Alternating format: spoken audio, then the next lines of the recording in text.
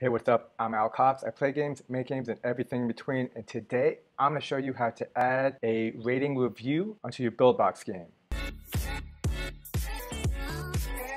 So you've probably seen these reviews pop up while playing a game, and they're super easy to do in the latest version of BuildBox 2.36. So here, here's an example of when I was playing Logi. So it pops up, and then I believe I rate it, give it five star rating, might as well submit, and from here you can write a review or not and just continue playing the game. How do you do this in BuildBox? It's so easy, I gotta show you right now.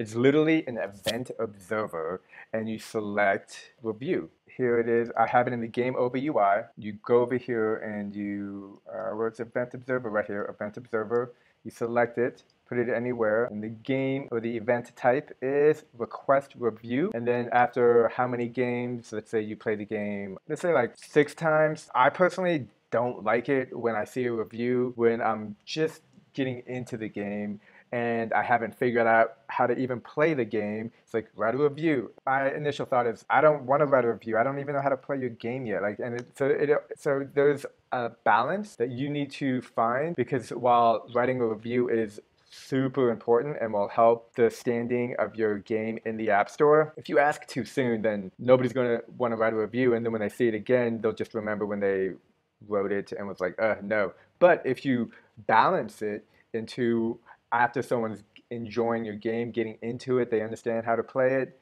and then you ask them to write a review, well, super easy, and it takes a couple seconds, so they'll most likely write a review, hopefully. Yeah, and so it's that easy to add that into your BuildBox game, and you should go ahead and do it right now and do it to all your games. It's a great feature. And so if you like this video, please like and subscribe. And